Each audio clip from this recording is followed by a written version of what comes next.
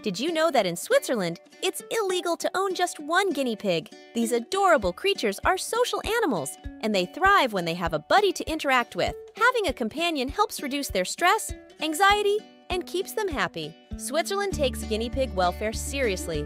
Guinea pigs are quite curious and inquisitive in nature, but they are timid explorers. They get very attached to their owners and partners. If something does happen to their partner, then owners need to find another one. And that's not easy. A law passed in 2008 mandates owning at least two guinea pigs. So if you're in Switzerland, don't forget, two is better than one when it comes to guinea pigs. Keep those piggies happy, healthy, and make sure they always have a friend by their side.